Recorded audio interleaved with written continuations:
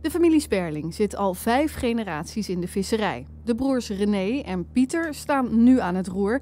En in al die jaren heeft de familie nog nooit zulke belachelijke regels gehoord. Ja, dit, uh, dit, dit uh, moeten we dus nu mee gaan nemen. Deze heb ik van de week uh, zelf opgeraapt. Springlevend. Ja, hier zie je het resultaat. Een prachtig mooi visje. Maar ja, die wordt nooit meer groot.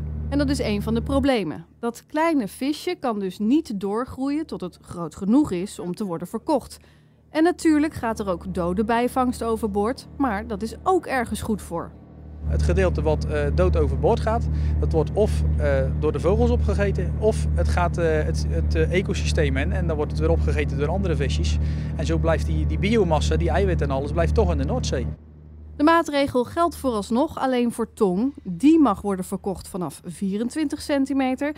En deze tong is 19 centimeter. Ze zeggen letterlijk van je moet bekijken wat je ermee doet. Je mag het zelfs brengen maar naar de vuilverbranding als je het maar niet meer overboord gaat. Ja, dat gaat er natuurlijk niet in.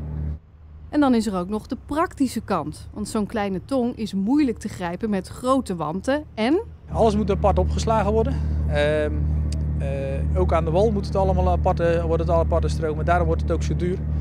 Het moet apart uitgezocht worden aan de wal. Het is, uh, het is een onmogelijk probleem voor ons. Voor de vissers zit er niks anders op. Zo hard mogelijk vechten en zo min mogelijk meebrengen.